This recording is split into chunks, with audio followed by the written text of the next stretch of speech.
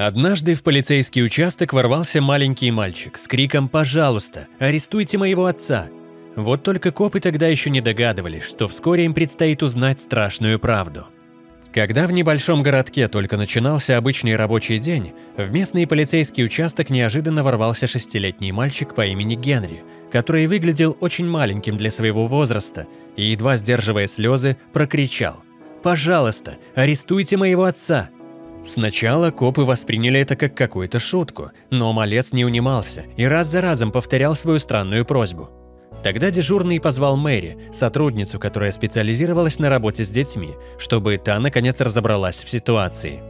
Появившаяся женщина как могла пыталась успокоить маленького гостя, но тот все еще казался невероятно встревоженным и возбужденным. Однако сотрудники не могли предпринять никаких действий до тех пор, пока не получили хоть какую-то информацию от Генри. Мэри и ее коллега-сержант Пол начали задавать мальчику простые вопросы, чтобы привести его в чувство и выяснить, наконец, правду. Тем не менее, Генри продолжал жалобно плакать, а затем он выдал. «Срочно арестуйте моего папу, его нужно как можно скорее отправить в тюрьму».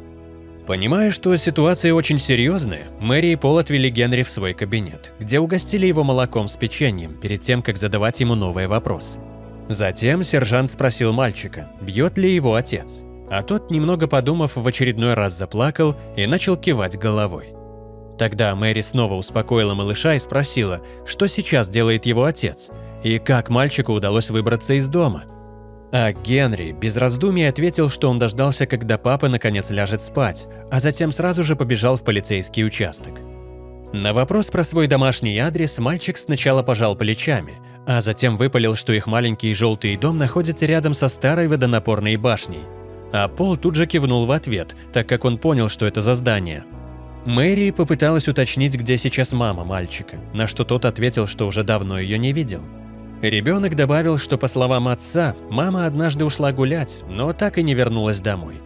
После услышанного в головах полицейских стали появляться самые страшные домыслы, и они начали подозревать, что отец Генри совершил что-то ужасное – Видя, что взрослые наконец его слушают, мальчик продолжал настаивать, чтобы отца обязательно арестовали и ни в коем случае не позволили ему сбежать.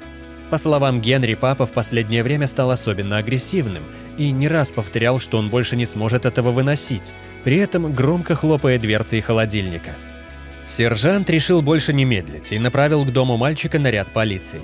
Меньше чем через полчаса несколько вооруженных копов ворвались в тот самый маленький желтый дом рядом с водонапорной башней, который выглядел очень старым и обветшалым. Внутри обстановка была очень бедной, но помещение при этом выглядело прибранным и ухоженным. Хозяин Роджер мирно спал в своей кровати, когда появившиеся копы повалили его на пол и без промедления защелкнули наручники на его запястьях. Мужчина лишь мычал, явно не понимая, что происходит а опытные сотрудники уже заталкивали его на заднее сиденье своей машины. Наконец, придя в себя, подозреваемый начал кричать, что у него дома остался маленький сын, на что один из копов резко заявил, что ребенок давно уже у них в участке, а арестованному теперь придется ответить за все совершенные им злодеяния. Когда Роджера привезли в участок, Пол был очень удивлен. Он ожидал увидеть злобного психопата, который жестоко издевался над своей женой и сыном, но вместо этого перед ним стоял очень худой и явно болезненный мужчина с провалившимися внутрь тусклыми глазами. Через мгновение арестованного завели внутрь, а Генри, увидев отца, как ни странно, побежал к нему навстречу и со слезами на глазах бросился ему на шею. Мужчина с облегчением крепко обнял своего сына и также не смог сдержать слез. Роджер вымолвил, «Сынок, я думал, с тобой что-то случилось, когда меня привезли в полицию». Генри ответил. «Папа, это я сказал дяденьке, чтобы тебя арестовали». На очевидный вопрос «Зачем?» мальчик ответил. «Чтобы ты наконец смог поесть, папочка». Полицейские стояли разинув рты, не понимая, что здесь происходит. Но опытному Полу не понадобилось много времени, чтобы наконец выяснить душераздирающую правду. Оказывается, Роджер растил сына в одиночку после того, как его супруга умерла. Чтобы не травмировать психику Генри, отец сказал ему, что мама ушла погулять, а мальчик с тех пор ждал и надеялся, когда она вернется. У самого Роджера при этом в последнее время начались серьезные проблемы со здоровьем. И не было даже среднего образования, из-за чего он перебивался лишь небольшими случайными заработками, которых едва хватало на то, чтобы накормить и одеть сына. При этом сам мужчина часто оставался голодным, жертвуя все своему любимому сыночку. Однажды ночью Генри увидел, как отец громко хлопнул дверцей практически пустого холодильника и зарыдал от бессилия и своей ущербности. Мальчик очень хотел хоть как-то помочь голодному и страдающему отцу. И вот однажды он узнал из новостей по телевизору, что в местной тюрьме заключенных кормят три раза в день.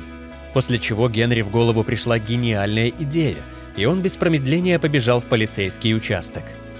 Когда печальная правда наконец раскрылась, даже суровые полицейские не смогли сдержать эмоций. Они сытно накормили Роджера и Генри собственными обедами и отвезли их домой. Однако на этом история не закончилась.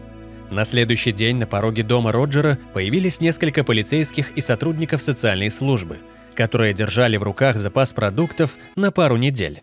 Хозяин с благодарностью принял этот дар и пригласил гостей внутрь, где их с радостью встретил улыбчивый Генри. Сержант Пол предложил хозяину работы уборщиком в полицейском участке, на что мужчина с радостью согласился.